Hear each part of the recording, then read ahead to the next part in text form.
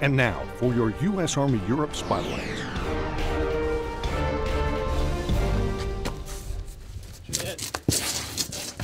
Some soldiers will go the extra distance to distinguish themselves. These soldiers, NCOs, and junior officers compete for just that in this year's U.S. Army Europe's Best Warrior competition. Frag out!